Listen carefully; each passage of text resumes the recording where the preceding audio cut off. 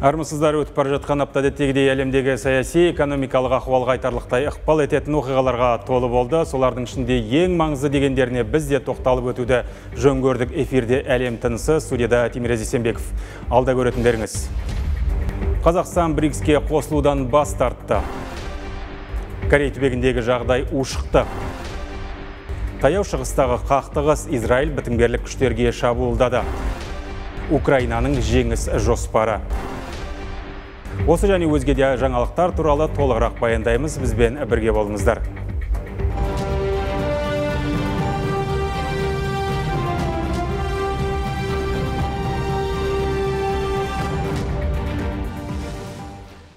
Қазақстан БРИКСке қосылуды жоспарлап отырған жоқ дегенмен Қасым Жомарт Тоқаевқа осындай ұсыныстар келіп түсті. Қазіргі уақытта және жақын болашақта Қазақстан БРИКСке өтінім беруден бас тартады деді Қазақстан президентінің кеңесшісі баспасөз хатшысы Берік Уәли. БРИКСке кіру туралы ұсыныстарды мемлекет басшысы Қазақстанның ұлттық мүдделері тұрғысынан қарастырады. Алайда әзірге президент Тоқаев біріккен ұлттар ұйымына барлық өзекті халықаралық проблемаларды талқылауға болатын және қажет болатын әмбебап және баламасыз ұйым ретінде басымдық береді деді ол. Президенттің пікірінше біріккен ұлттар ұйымы да кемшіліксіз емес, бірақ дәл сондай басқа ұйым жоқ. Сондықтан біріккен ұлттар ұйымына әлемдік қауымдастықтың қолдауы ауадай қажет. Біріккен ұлттар ұйымы жарғысы халықаралық құқықтың негізі болуы керек және бұл іргелі құжатта бекітілген қағидаларды бұзуға ешкімнің хақысы жоқ. Президент біріккен ұлттар ұйымы қауіпсіздік кеңесінің маңызды шешім қабылдау ісінде дәрменсіздік танытып отырғанына өкініш білдірген болатын. Сондықтан мемлекет басшысы орта державалардың мүдделерін ескере отырып, біріккен ұлттар ұйымына мүше мемлекеттер мемлекеттердің кең ауқымды консультациялары негізінде біріккен ұлттар ұйымының қауіпсіздік кеңесін реформалауды бастау қажет деп есептейді Астананың бұл әрекеті Ресей мен Қытайдың БРИКСті батыстың саясатына наразы жаһандық оңтүстік мемлекеттерінің одағына айналдыру әрекеттеріне айқын соққы беретін анық. Себебі Қазақстан өңірдегі екі елдің де маңызды сауда серіктес дейді сарапшылар. Дегенмен Кремль барынша дипломатиялық әдеп сақтап, Путиннің баспасөз хатшысы арқылы Ресей БРИКСке қарым-қатынас бойынша Қазақстанның ұстанымына түсіністікпен және құрметпен қарайды. Республика билігі кез келген егемен мемлекет сияқты әртүрлі халықаралық ұйымдарға қатысу форматы мен дәрежесі туралы шешімді өзі қабылдайды деді. БРИКС қазірдің өзінде 3,5 миллиард адам қоныстанған аумақты алып жатыр. Бұл жер шарындағы адам санының 40 пайыздан астамы. 2009 жылы Бразилия, Ресей, Үндістан және Қытай одағы болып құрылды. Артынша оған Оңтүстік Африка Республикасы қосылды. Ал биыл тағы 5 мемлекет қосылды. Египет, Иран, Біріккен Араб Әмірліктері, Сауд Арабиясы және Эфиопия. Тағы бірнеше ел мүшелікке өту туралы өтініш беріп қойған. Келесі аптада Қазан қаласында ұйымның 16-шы саммиті өтпек, оған 33 ел қатысады деп күтілуде. Сондай-ақ біріккен ұлттар ұйымының бас хатшысы Антонио Гутерриш, Шанхай ынтымақтастық ұйымының бас хатшысы Джан Мин өзге де бірлестіктердің өкілдері бой көрсетпек. Жалпы біріккен ұлттар ұйымын реформалау қажеттілігі әлдеқашан туындаған анық. Шын мәнінде бар мәселені оның қауіпсіздік кеңесіндегі тұрақты бес мүшесінің ғана ықтияры шешеді десе болады. Ал олардың құрамы ұйым құрылған 1945 жылдан бері өзгерген жоқ. Тек КСРО тарағаннан кейін орнын Ресей басты. Содан бері қаншама мемлекет құрылды, экономикалық, саяси, әскери ахуал да түбегейлі өзгеріске ұшырады. Тек қауіпсіздік кеңесі сол баяғы құрылымын сақтап қалды. Ал уақыт талап еткендей өзгерістердің болмауы, қақтығыстардың көбеюіне, оларды дер кезінде тоқтатуға қауқарсыздыққа алып келді. Осы аптада Украина президенті жоғарғы радаға Ресеймен соғыста жеңіске жету жоспарын таныстырды. Құжат 5 баптан тұрады, тағы 3 қосымша құпия бөлігі бар. Ең алдымен Украинаны НАТОға шақыру қажет. Екінші бап қорған саласын күшейту. Стратегиялық тежеу, стратегиялық экономикалық әлеует және соғыстан кейінгі кезең. Ұйымның жарғысына сай оның мүшесіне шабуыл жасаған жағдайда НАТОға мүше елдер көмекке келуге міндетті. Осылайша Путин жеңілетін сезіну керек дейді Владимир Зеленский. Сонымен қатар Украина әскерінің Ресей аумағындағы операциясын жалғастыруға, әскердің позициясын нығайтып, резервті жасақтауға көмек көрсету керек. Батыс қару мен Ресейдегі нысандарды атқылауға рұқсат беру ең маңызды талаптардың бірі. Украинада қуатты стратегиялық ядралық емес қаруды орналастыру Ресейді келіссөзге мәжбүрлеуі мүмкін дейді Зеленский. Мұның бәрі жүзеге асса, соғыстан кейін Украина әскері заманауи қару жарақпен соғысу тәжірибесі бар НАТО мен өзара әріптестік орнатқан тәжірибелі ірі әскери контингентке айналмақ. Бұл Еуропаның да НАТОның да қауіпсіздігін қамтамасыз етпек. Ал үш құпия қосымша екінші, үшінші және төртінші пунктке жатады. Олар жөнінде Украинаның бірнеше ірі одақтасы құлағдар көрінеді. Зеленскийдің айтуынша жеңіс жоспары соғысты дипломатиялық жолмен аяқтауға мүмкіндік беретін көпір.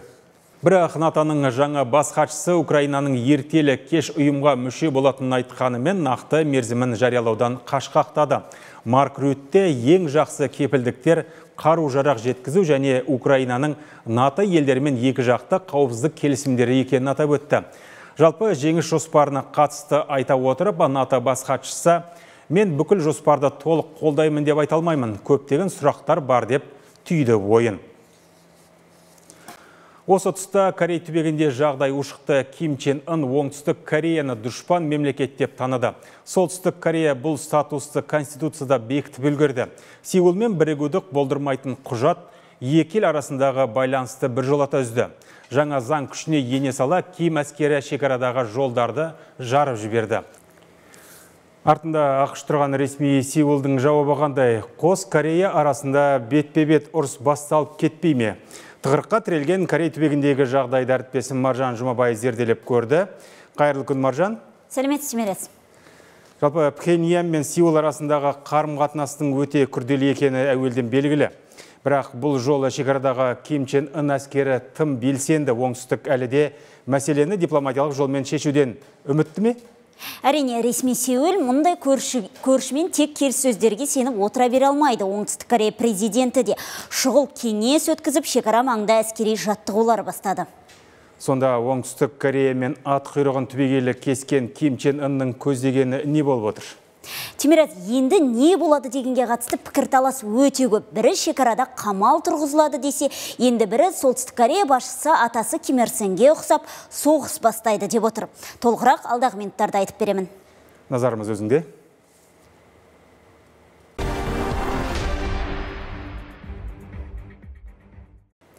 Пхеньян өзінің оңтүстік Кореямен байланыстыратын автомобиль және темір жол учаскелерінің бәрін жарып жіберді.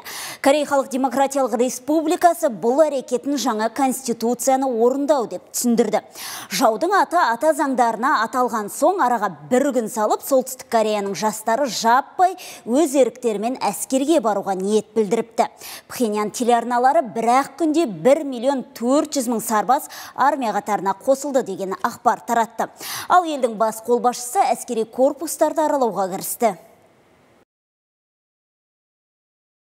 Біздің армия сөзсіз фактіні тағы бір рет түсінуі керек. Оңтүстік Корея мүлдем бөтен және дұшпан ел. Шекарадағы жолдарды толық жою туралы шешім біздің қатынастарды физикалық тұрғыда ғана емес, оңтүстікпен ессіз байланыстың үзілгенін көрсетті. Бұл Сеул үшін соңғы ескерту. Енді Корея Халық Демократиялық Республикасының егемендігі бұзылса, армия отандастарға емес, дұшпандық мемлекетке қарсы шығады. Көктемнен бері солтүстік Корея оңтүстікке қоқыс пен нәжіс толы әуе шарларын жіберіп келді. Мұнысын Сеулдің Пхеньянға ұшырған үн парақтарына қарымта деп түсіндірді. Өйткені ол қағаздарда Ким режиміне қарсы шығу туралы үндеулер болған. Бастапқыда оңтүстік Кореяның қорғаныс министрлігі парақтардың жіберілгенін мойындамағанымен уақыт өте насихат қағаздары туралы айыптауларды жоққа да шығармады. Ал Ким ізбасары саналатын қарындасы оңтүстік Кореяға жойқын апат болатынын айтып ескерту жасады. 이미 세계보건기구는 각이한 물체 표면에서의 비루스 Корея Республикасының ұшқышсыз ұшағы астанамыздың аспанынан тағы да анықталса, салдары жан түршігерлік болуы мүмкін. Оңтүстік Кореяның саяси қоқыс тастаған дрондары шекарадан өткен сәтте біз нақты шешімдер қабылдаймыз. Арандатушылар жазасыз қалмайды. Жеке өзім мұндай жағдайдың болмауын тілеймін. Айта кететіні шекаралас жолдардағы жарылыстар солтүстік Корея аумағында болған. Оңтүстік Корея сарбаздары зардап шекпеген, ал қираған жолдар жақында ғана оңтүстіктегі көршісі берген қаражатқа жөнделген екен. Олар екі ел арасындағы серіктестік пен бейбіт өмірдің символы ретінде қызмет етуі тиіс болған. Шиеленістің өршуіне себеп болған Пхеньян аспанындағы дрондарға біздің еш қатысымыз жоқ дейді оңтүстік Корея сыртқы істер министрлігі. Бірақ солтүстік Корея арандатушылық жасаса жауапсыз қалмаймыз деп отыр. Солстық кореяның ядролық қарумен және зымыран шабуылдарымен қорқытуын айыптаймыз. Олар оңтүстік кореяны солтүстікке ену үшін ұшқышсыз ұшақ жіберді деп екі ел арасындағы шиеленістің күшеюіне алып келеді. Солтүстік корея корея аралық автомобиль жолдары мен темір жолдарда трафикті тоқтатқан жарылыс үшін толық жауап беру тиіс. Солтүстік кореяның кез келген арандатушылықтарына батыл жауап қайтарамыз. Ал жарылыстан соң үзілген оңтүстік шекара бекініске айналуы мүмкін. Корей халық демократиялық республикасы қорғаныс министрлігі бұғатталған оңтүстік шекараны мәңгілік қамалға айналдыру үшін одан әрі шаралар қабылданатынын атап өтті. Сарапшылар қабырға тұрғызу Ким Чен Ынға билігін одан әрі нығайту үшін керек дейді.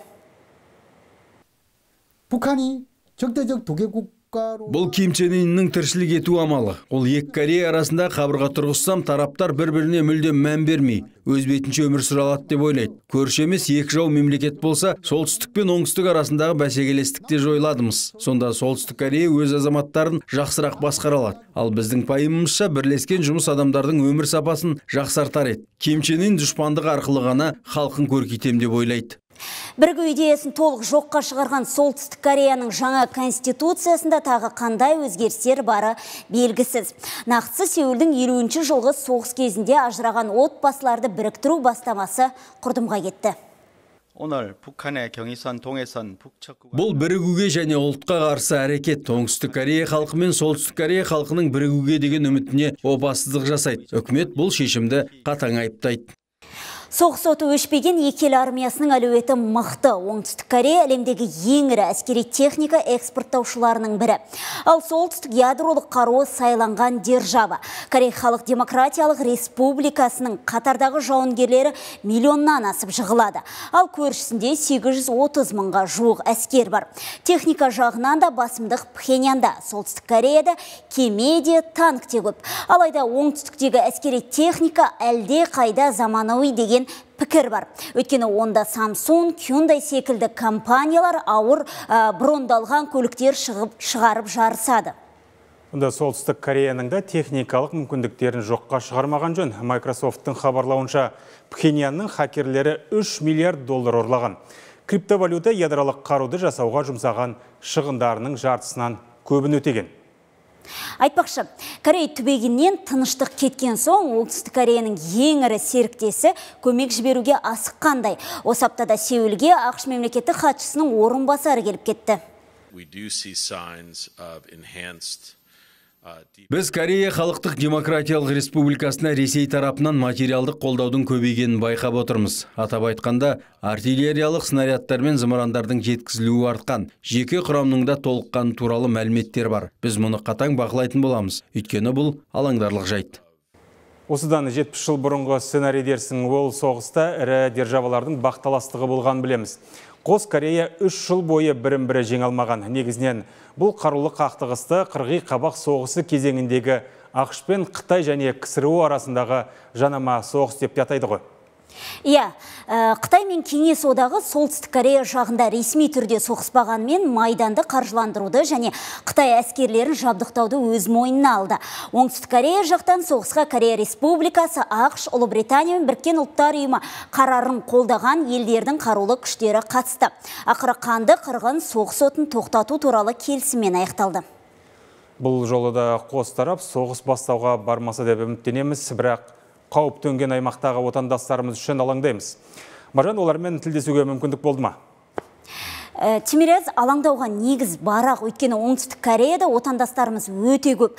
Ә, заңсыз жүргендерінің өзі 15 мыңнан асады. Міне сондай қазақстандықтармен ә, сөйлесіп көрдім. Олар камераға сұхбат беруге бас тартқанмен мән жайды айтып бердім әзірге өздеріне өздерін қауіпсіз сезінеді екен. Шекарадан алшақ қалаларда ешқандай дүрбелең жоқ деп отыр. Алайда осы аптада Қытай Тайвань мәселесі де шықты. Қытай тағыды әскери жаттығу өткізіп, аралға соңғы ескертуін жасады. Тайвань Бейжіңнің әрекетін арандату деп атап жауап ретінде тиісті күш бергенін мәлімдеді. Салдарынан Қытайға жаңа санкциялар салынуы мүмкін бе? Бұл өте өзекті сұрақ өйткені әлем экономикасының 19 пайызы Қытайға тиесілі. Қазақстанның да ең ірі серіктесі осы ел. Сондықтан қаржыгерлер Қытайға шектеулер қойылса, біздің ғана емес бүкіл әлемнің нарығына қиын болады дейді. Қытайға салынатын санкцияны жалпы әлемдегі экономикаға үлкен мульти эффектісі зор болады ә, оның ішінде биржалар құлайды қытайдың ішіндегі экономикалық белсенділік азайса америка құрама штаттары батыс еуроодақ және қытайдың негізгі экономикалары бір біріне қатты байланысқан. Оның барын бір бір мезет, мезетте үзіп тастау мүмкін емес. Ол ресеймен мысалы еуропа арасындағы байланыс сияқты емес. Бейжің әлем назарын өзіне аударған әскери жаттығуды арал президентінің мәлімдемелерінен кейін бастады. Лайцинде Тайванды қосып алуға қарсы шығатын 23 миллион халықтың атынан сөз сөйлеуге Қытайдың құқығы жоқ деп айтқан болатын. 啊，我们看到中国宣布二零二四啊联合利剑 B 的这个演习。 Демократия мен авторитаризм арасындағы күресте жеңіске жету үшін тыныштық пен сенімділікті сақтауымыз керек. Қытай әскери жаттығулар туралы кеш хабарлап халықаралық талаптарды бұзды. Сондай ақ басқа мемлекетке қарулы күшпен қауіп төндіру біріккен ұлттар ұйымының жарғысына қайшы келеді. Біз тайвань бұғазының екі жағындағы статус квоны сақтау үшін барымызды саламыз. Тайвань бұғазындағы бірлескен қылыш 2024 жаттығуына құрлықтағы әскер, әскери теңіз, әуе және зымыран күштері қатысқан. Жаттығулар кезінде Қытай армиясы негізгі порттарды бұғаттауды, теңіздегі және құрлықтағы нысандарға соққы беру тактикаларын пысықтапты. Бейжің осылайша аралдағы сепаратистік күштерге қатаң ескерту жасады. Сондай Қытай әлем елдерін достарды мұқият таңдауға шақырды. Өйткені күні кеше Мумбайда Тайваньның өкілеттілігі ашылды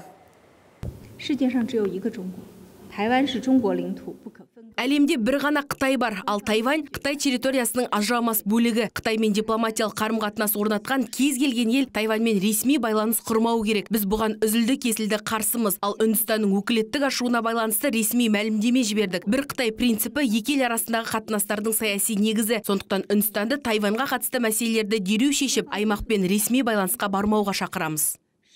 Ал Қазақстанның Тайваньға қатысты ұстанымы анық. Еліміз біріккен ұлттар ұйымының жарғысында бекітілген барлық мемлекеттік аумақтық тұтастығы туралы қағидатқа сүйенеді. Сондықтан біз үшін Тайвань Қытайдың бір бөлігі. Рахмет, әріптесім Маржан Жұмабай, Корей түбегі және Қытай мен Тайвань арасындағы ықтимал қақтығыс туралы баяндап берді.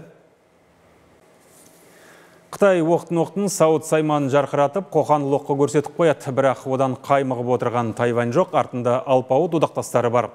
Одақтас демекші, Израильдің озбырлығы өзінің басты арқа сүйері ақштың ызасын туғызды. Себебі ақ үйде әзірге деп айтайық қожайын болып отырған демократтар соңғы уақытта америкалық арабтардың қолдауынан айырылып жатыр. Ал бұл айтарлықтай күш. Газа аумағында 2 миллионға жуық адам аш жалаңаш Израиль гуманитарлық дәліздерді жапқалы осындай жағдай қалыптасты. Ал азық түлік барлығына бірдей жете бермейді. Бұл қарашаның бесінде ақшта өтетін президент сайлауының қорытындысына тікелей әсер етпесе де республикашылдарға жәрдем болатын сыңайы бар. Себебі штаттардағы 4 миллионнан астам өзін араб санайтындардың басым бөлігі бұған дейін демократтарды қолдап келген. Соңғы сауалнамалардың нәтижесіне сай демократ кандидат Харристі жақтайтын америкалық арабтар саны айтарлықтай азайған көрінеді. Сондықтан Вашингтон Нетаньяхудан бір ай көлемінде газаға жеткізілетін гуманитарлық көмек көлемін едәуір арттыруды талап етті. Талап орындалмаған жағдайда әскери көмек көлемін қайта қарауға мәжбүр боламыз деп қорқытқандай болды. Бірақ Израиль бұған алаңдайтын емес, Хамас, Ливандағы Хезбалла, Сирияны атқылап қана қоймай, біріккен ұлттар ұйымының бітімгерлік күштеріне де соққы беріп, алға қойған міндеттерін толық орындамайынша тоқтамайтындықтарын байқатты. Біз Ливан халқымен соғыспаймыз. Израиль Ливандағы билікті басып алған Хизболла террористік тобымен күресіп жатыр. Мен Біріккен ұлттар ұйымы бас хатшысына тікелей үндеу жолдаймын. Біріккен ұлттар ұйымының уақытша күштерін Хизболла бекіністерінен және соғыс аймақтарынан шығаратын уақыт келді. Бітімгерлерді эвакуациялаудан бас тартып олардың өміріне қауіп төндіресіздер. Сарбаздар шекараға жақын жерде қалса, Хизболла тұтқынға айналады. Сақалдың шабуылынан 15 бітімгер жараланды. Таяу шығыстағы біріккен ұлттар ұйымының контингентінде 139 қазақстандық сарбазда қызмет атқарады. Олар негізінен Израиль, Сирия және Палестина, Израиль шекарасында орналасқан. Сондықтан дәл қазір төніп тұрған қауіп жоқ секілді. Бірақ қолын қақпайтыннан бір сезінген еврей мемлекеті тоқтайтын емес. Біріккен ұлттар ұйымы әзірге үнсіз. Есесіне Еуроодақ бітімгерлердің аймақтағы маңызды миссиясы туралы айта келіп, Израильден шабуылды тоқтатуды талап етті. бұл әрекет үшін израиль билігінен дереу түсініктеме күтеміз біріккен ұлттар ұйымының ливандағы уақытша күштеріне жасалған шабуылдар мұқият тергелуі керек бітімгерлер елдің оңтүстігіндегі тұрақтылықты қамтамасыз етуде маңызды рөл атқарады Біздің бітімгерлерді елге қайтару туралы әңгіме әзірге қозғалған жоқ. Ал Израиль Ливанға шабуыл үдетіп, жаяу әскер кіргізді. Мақсаты Хезбалланың әскери инфрақұрылымын жою. Газа аумағына басып кіргенде де Хамасты толық жоймай тоқтамаймыз деген еді. Содан бері 40 мыңнан астам палестиналық көз жұмды. Оның 20 мыңға жуығы бала. Ливандағы халық саны Газадан 5 есе көп. Осы аптада түркі елдерінде де біраз оқиға болды. Түркияда тағы да жер сілкінді. Абырой болғанда зардап шеккендер жоқ. Батыс мемлекеттерінің басшылары қырғыз билігі Кремльмен байланысын қайта қарау керек деп санайды. Ташкент пен Мәскеу бір-бірінің ішкі істеріне араласпауға уағдаласты. Түркі әлеміндегі жаңалықтар туралы әріптесім Мейрамгүл Салқынбаева айтып беруге дайын. Мейрамгүл қайырлы күн. Осы аптада бірқатар елдердің көшбасшылары Түркияда кездесіп, біраз мәселенің басын ашып алған сыңайлы. Толығырақ бөліссең. Сәлеметсіз бе? Иә, түркі елдерінің басшылары осы аптада біраз мәлімдеме жасады. Қырғызстан президенті Садыр Жапаровтың батысқа берген жауабы бұқаралық ақпарат құралдары беттерінде көп жазылған. Ол туралы сәлден соң толығырақ айтамын. Өзбекстан мен Ресей орыс тіліне қатысты мектептегі оқиғадан кейін бір мәмілеге келді. Ал Әзербайжан мен Арменияның қашан қол алысатыны белгілі болды. Түркі әлеміндегі айшықты оқиғалар жайлы бірер секундтан кейін айтып берем. Арнамыздан алыстамаңыз Kalınızlar. Ресеймен байланыс үзілмейді. Қырғызстанға Ресей Федерациясымен ынтымақтастықты доғаруды сұраған батысқа Садыр Жаппаров осылай жауап берді.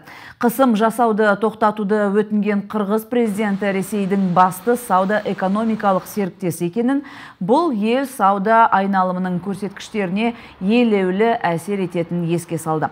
Бұған дейін Ресей билігі бірнеше рет батыс елдерінің бір жақты санкциялары заңсыз деп мәлімдеген еді. Это, конечно, неправильно бұл дұрыс емес. Өйткені еуропа елдеріне барғанда олардың айтатыны бір. Жасайтыны басқа болып шығады. Нато еуропалық одақ құрамына кіретін еуропалық елдер бар. Олар да ресеймен ынтымақтасады ғой. Бізге талап қоятын не істейтінімізді айтатындай қақылары жоқ. Біз барлығымен ынтымақтасуымыз керек. 12 қыркүйекте 6 Қырғыз Ресей экономикалық форумында Қырғызстан министрлер кабинетінің басшысы Ақылбек Жапаров республика Ресеймен жыл сайынғы тауар айналымын 3 миллиард доллардан 5 миллиард долларға дейін ұлғайтатынын айтқан. 2024 жылдың бірінші жарты жылдығында Ресей мен Қырғызстан арасындағы тауар айналымы 11 бүтін оннан 2 пайызға өсті. Қазір республикада 10 миллиард доллардан астам сомаға ресейлік бизнестің қатысуымен 62 инвестициялық жоба бар. Бұдан өзге Қырғызстанның ТМД елдермен де сауда айналымының көрсеткіші күрт өсті. Өзбекстанмен бұл көрсеткіш 15 бүтін оннан 2 пайызға, Түркменстанмен 27 бүтін оннан 7 пайызға, Әзербайжанмен 19 пайызға артты. По итогам 2023 года 2023 жылдың қорытындысына сай Қырғызстанның ТМД елдерімен тауар айналымы 5 миллиард 418 миллион долларға жетті. Бұл көрсеткіш біздің оң динамикамызды көрсетеді. Айта кеткен жөн, Қырғызстанның Еуропалық экономикалық одақтағы позициясы да айтарлықтай өсті. Экономикалық теорияны негізге алсақ, онда одақтарды біріктірудің 5 кезеңі бар. Еуропалық экономикалық одақ 10 жылдың ішінде үшінші кезеңге бірыңғай нарықтар құруға жетті.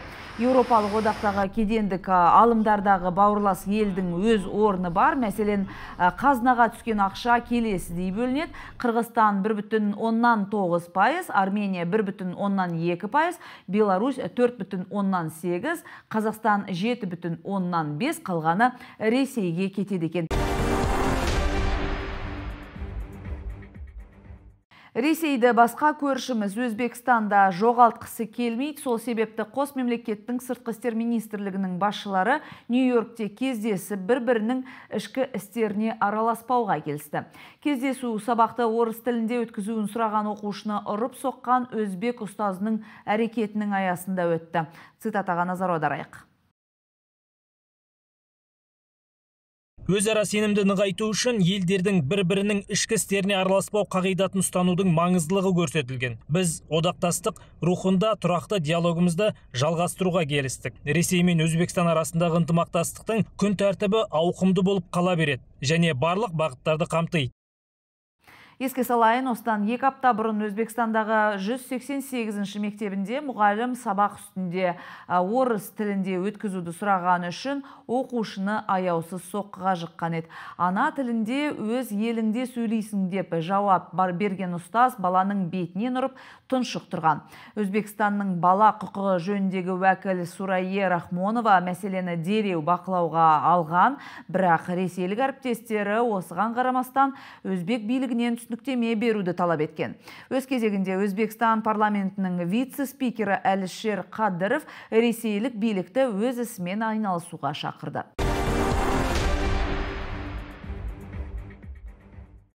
Армения премьер-министрі Никол Пашинян Азербайжан президенті Ильхам Әлиевке екі елдің сыртқы істер министрлерінің кездесуін өткізуді ұсынды. Мұндай әрекет бейбітшілік келісіміндегі күмән келтіретін баптарды жою үшін керек.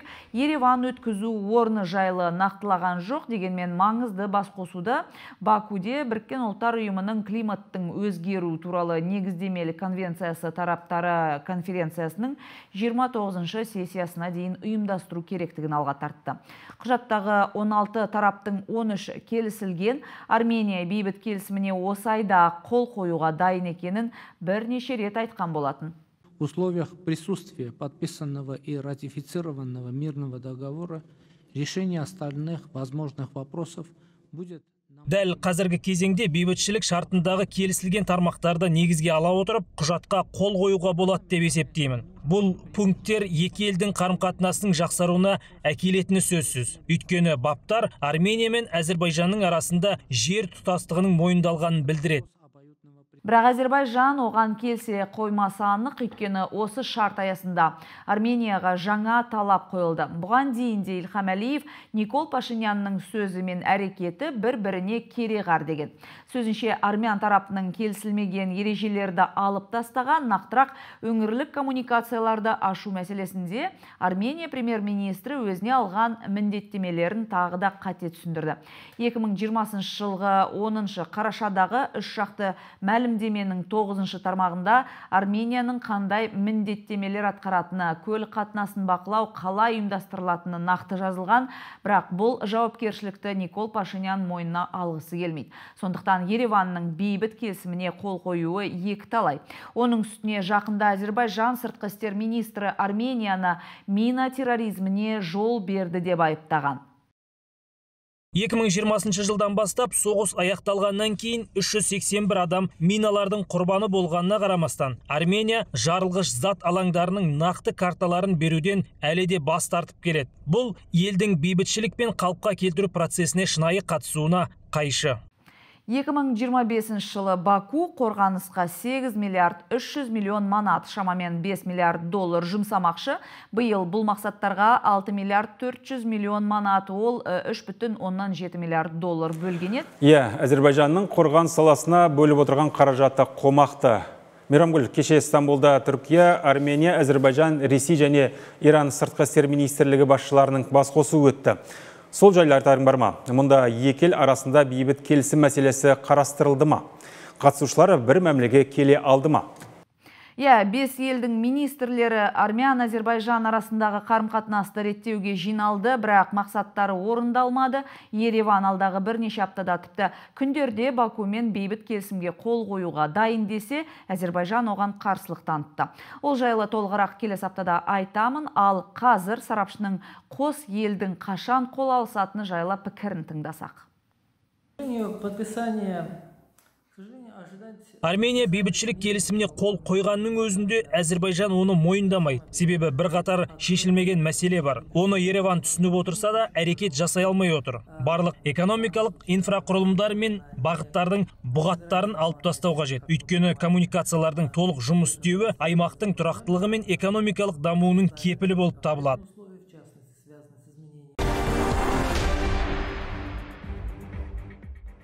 Жер сілкінісі десе әбден зәрезап болған жұрт осы жолы да үйінді астында қаламыз ба деп қорықты. Абырой болғанда ешкім зардап шекпеді. Жер асты дүмпулері елдің Малатия, Диарбакыр провинцияларында сезілді. Мамандар табиғи құбылысынан кейін 20-ға жуық автор-шок тіркеген. Студия мендегі ақпарат осы. Рахмет, әртесім Ирем Гүлсалмбаева түркі әлеміндегі соңғы жаңалықтармен бөлісті. Енді кезек Қытай жаңалықтарында шығыстағы көршінің тынысы келесі топтамада.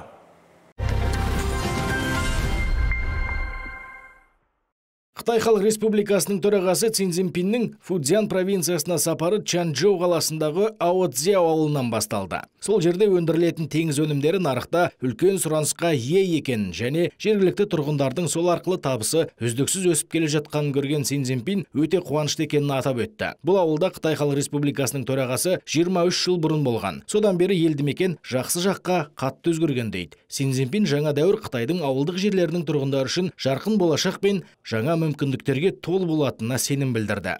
Мен шын жүректен сіздерге барлық жақсылықты тілеймін. Өмірлеріңіз әрқашан жарқын болсын. Жыл сайын осылай жақсара берейік. Син Цзиньпин Дуншань округінің бұрынғы партия жетекшісі болған Гун Винчанға арналған мемориалдық залға барғанда, оны Қытай коммунистік партиясының көрнекті басшыларының үлгілі өкілі болды деп атады. Син Цзиньпин шенеуніктерге оның жеке мінез құлқынан, басқару жұмыстарынан да үлгі алуға және өз жұмысында жергілікті мекендерді дамытуға назар аударуға шақырды. Ал Гуанди мәдени индустриалды паркінде Син Цзиньпинге мәдени мұраларды қорғауды күшейту және Тайвань бұғазы жағалаулары арасындағы гуманитарлық байланыстарды ілгерілету жұмыстары туралы айтылды. Бұдан бөлек Син Цзиньпин қаласына барғанда Фудзян провинциясының еркін сауда эксперименттік аймағының жергілікті учаскесін тексеріп жетістіктер көрмесіне қатысты. Одан кейін Сиаменде Син Цзиньпин партия комитеті мен Фудзян провинциясы әкімшілігінің жұмысы туралы есепті тыңдап бірқатар тапсырма берді және басым бағыттарды белгіледі.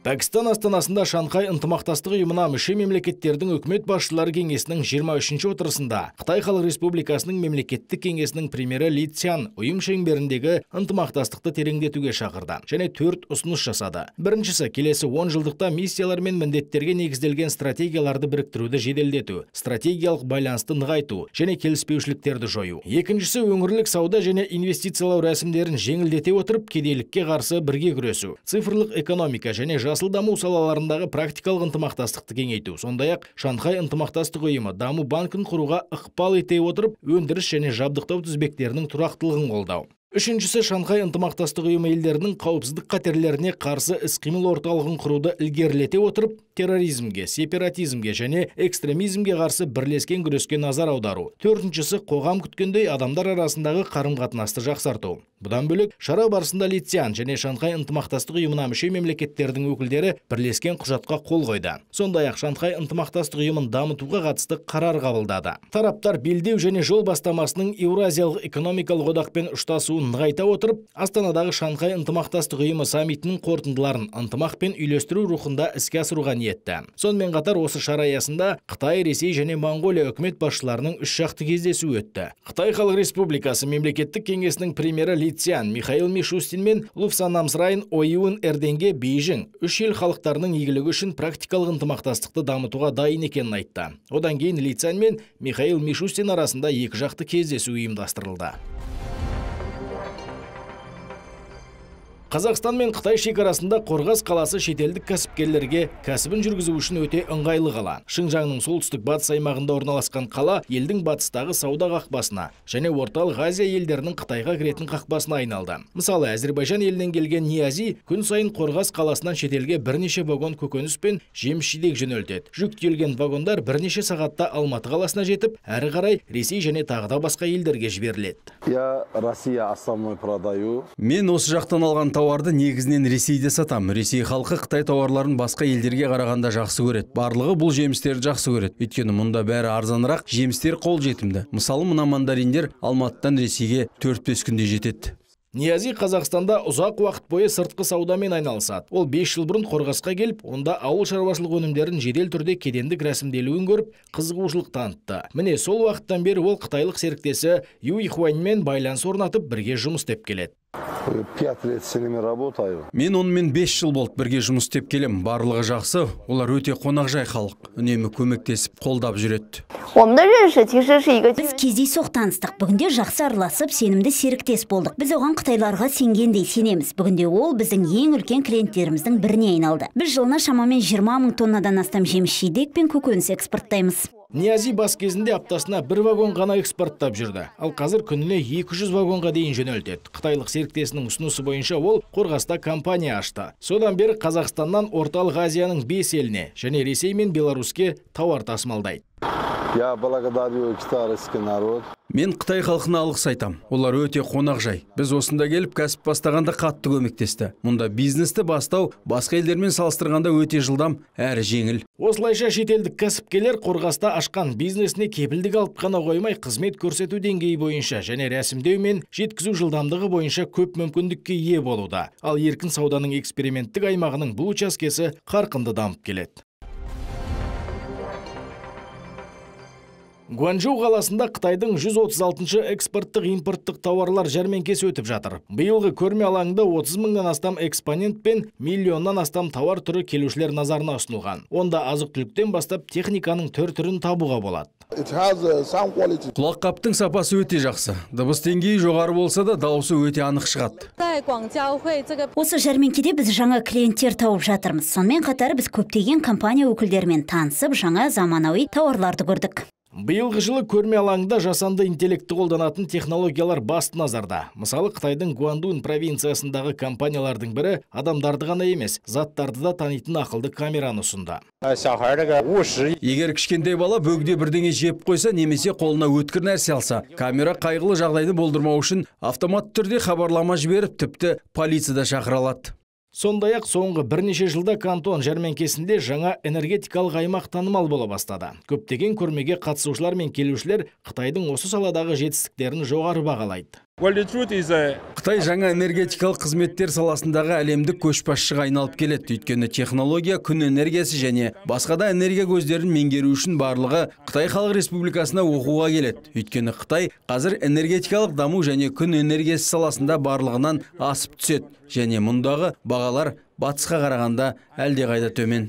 Бүгінде Кантон жәрмеңкесі үздіксіз технологиялық инновациялардан басқа Қытай қалалары мен олардың брендтерін шетелге жылжыту үшін маңызды платформаға айналды. Бұл күндері Франция астанасында Париж автокөрмесі өтіп жатыр. Евроодақтың Қытай көліктеріне баж салығын арттыру жоспарына қарамастан көрмеге қытайлық компаниялар да қатысуда. Олар автокөрмеде еуропалық нарықта өз өндірістерін ашуды қарастыруда. Бұл қадам келесі айдан бастап жоспарланған Қытай автомобильдеріне импорттық баж салығын арттыру мәселесін айналып өтуге мүмкіндік береді. Бұл біздің технологиямыздың арқасында әзірлемелер мен зерттеулерге салынған инвестициялардың арқасында мүмкін болады. Бізде 100 мыңнан астам инженер жұмыс істейді. Әр жұмыс күні біз орта есеппен жаңа әзірлемелерге 15 патент тіркейміз. Статистикаға сәйкес 2020 жылы Евродақ нарығында Қытайда жасалған электромобильдердің 3,5 пайызы тіркелген. Биылғы жылдың екінші тоқсанында көрсеткіш 27 пайызға дейін өсті. Ал Қытайда британдық маркадағы және немістің BMW және мини көліктерінің сатылымы өткен тоқсанда 30 пайызға төмендеді. Бұған дейін аталған көліктер Бейжің, Шанхай және Гуанчжоуда үлкен сұранысқа ие болған. Соңғы кездері тұтынушылар Қытайда жасалған гибридті көліктерді көбірек таңдайтын болған. Осы көрмеге келген біздің бәсекелестеріміз сатып алушыларға төмен бағамен электромобильдер ұсынады ол клиенттер үшін өте тартымды Мамандардың айтуынша осы көрмеге келгендер көбі электромобильдерге, гибридті көліктерге қызығушылық танытуда. Қытайдан келген өндірушілер үшін бұл әлемдік нарықта өз орнын қалыптастырудың тамаша мүмкіндігі. Қытайдың ұлттық ғарыш басқармасы ғарышты игеру саласын, оны ғылыми зерттеу бағдарламасын жариялады. Жоспарға сәйкес 2027 жылға дейін Тяньгунь ғарыш станциясы толық пайдалануға беріледі. Сонымен қатар қытайлық ғарышкерлер айда басқарылатын зерттеу жүйесін іске қосуға және оны зерттеудің төртінші кезеңіне өтуді жоспарлап отыр. Бірінші кезеңде қараңғы материяны және ғаламның дамуы мен қалыптасуының ерте кезеңін зерттеу басым бағыттар болады. Ал 2028 және 2035 жылдар аралығында қытай ай бағдарламасын жалғастырумен қатар күн жүйесі мен алып планеталар жүйелерінің шеттерін зерттеуді бастауда. Сондай ақ венера атмосферасының сынамаларын алуды жоспарлап отыр. Үшінші кезең аясында қытайлық мамандар ауқымды 5-6 ғарыштық миссияны және 25 шағын және орта міндеттерді жүзеге асыруға ниетті. Осылайша қытайдың мақсаты 2050 жылға дейін ғарыш саласындағы әлемдік көшбасшы болу. Қытайдың солтүстігіндегі ішкі Моңғолия автономды ауданындағы Хухото қаласы сүт өнеркәсібімен танымал. Сүт өндірушілер сиырлар үшін ақуыздың керемет көзі саналатын арнайы жоңышқа өсіреді. Оның құрамы қажетті қоректік заттарға бай, жақсы сіңімді әрі оның өндірісі өте. Opportunus Eco Agriculture компаниясы шамамен 300 гектар жерде жоңышқа өсіреді. Орташа алғанда жоңышқа пішенінде шамамен 20 пайыз шикі ақуыз бар. Бұл сиырлардағы сүтті тиімді арттырады. Жоңышқа сонымен қатар сүттегі ақуызды 3-4 пайыздық тармаққа дейін көтеруге көмектеседі. Жоңышқаны даладан жинағаннан кейін аталған компания мамандары сапаны сақтау үшін оны пішенге айналдырады. Жоңышқадан жасалған дайын пішен тікелей фермерлерге жеткізіледі. Содан кейін сиырларға немесе қойларға бермес бұрын оны басқа жемен араластырады. Осылайша қажетті дәруменге бай өнім дайын болады. Бұл жоғары технологиялық құрылғылармен жабдықталған фермалардың бірі. Мұнда сиырларға жем шөп беруге және оларды сауға арналған роботтарды кеңінен қолданады. Бұл автоматтандырылған құрылғының көмегімен жұмысшылар 80 сиырды 8 минут ішінде сау алады. Сүт салқындату жүйесіне арнайы жасалған құбыр арқылы жеткізіледі. Онда ол 4 градус температурасына дейін тез салқындатылады. Одан кейін сүт арнайы құтыларда сақталады. Содан кейін сүт қажетті көлемде жиналғанда оны дереу зауытқа температураны қалыпты ұстап тұратын арнайы цистерналармен жеткізеді. Сүт өндіру базасында озық технологиялардың арқасында бір құю цех сағатына 40 мың пакет сүт өндіруге қабілетті. Оның күнделікті өнімділігі 10 миллионға жуық адамның сүт қажеттіліктерін қанағаттандыруға мүмкіндік береді. Бізде өндіріс толығымен цифрлық бақылауда. Дәрі дәрмектер мен сиырларды қоректендіруден бастап сауға дейін барлық процесс нақты уақыт режимінде бақыланады. Мұнда өндіріс базасында біз сүт өндірудің әр кезеңі бақылауда болуын қамтамасыз ету үшін бүкіл тізбек бойынша сапаны басқару жүйесін қолданамыз. Сүт өндіру өнеркәсібінде ұзақ тарихы бар Хухота қаласында әлемдегі жетекші сүт компаниялары жұмыс істейді. 2023 жылы қалаға сүт өнеркәсібінің әлемдік ғылыми техникалық астанасы атағы берілді. Сүт өнімдерін жеткізу тізбегін жақсарту үшін біз бірнеше мәселелерді шешуіміз керек. Олардың бірі жем шөп өсіру. Осы мақсатта біз өсімдік шаруашылығына ұлттық технологиялық инновациялар орталығын құрдық. Біз сондай ақ сүтті сиырларды өсіру мәселесін шешуге көмектесу үшін сүт өнеркәсібіне де ұлттық технологиялық орталық аштық. Бұл бастамалар саланың одан әрі дамуына ықпал етеді. Айта кету керек, соңғы жылдары Қытайда жан басына шаққандағы сүт өнімдерін жыл сайынғы тұтыну көлемі бір шама өсті. Мұндай жағдай тек Қытайда ғана емес. Сондықтан осы саланы одан әрі дамыту тиімді әрі пайдалы бола бермек. Соңғы 24 жылда алғаш рет Қытайдан Вашингтонға екі үлкен панда әкелінді. Жануарлар арнайы жүк көлігімен Смитсон ұлттық зоологиялық паркіне жеткізілді. Енді олар алдағы 10 жыл бойы аталған зообақта өмір сүреді. Үш жасар Баоли есімді еркек пен Цинбао есімді ұрғашы пандаға Сычуань провинциясынан кетіп, американдық хайуанаттар бағындағы жаңа ортаға тезірек бейімделуге көмектесу үшін тәжірибелі ветеринар қарап жүреді. ақш пандалар кем дегенде 30 күн карантинде болады. Бір қызығы Қытай пандаларды биыл екінші рет Америка құрама штаттарына жіберді. Маусым айының соңында Сычуаннан Американың Сан-Диего қаласының хайуанаттар бағына Юнчуан және Синбао есімді панда дипломаттар жеткізілген болатын. Үлкен пандаларды қорғау бойынша ынтымақтастық бағдарламасы көптеген жылдар бойы Қытайдың басқа елдермен тығыз байланыс, жақсы қарым-қатынас орнатуына көмектесті. Сондықтан жануарларды панда дипломат деп те атайды. Қадірменді көрермен аптаны осылай қорытындыладық. Назарларыңызға рахмет. Еліміз аман, жұртымыз тыныш болсын.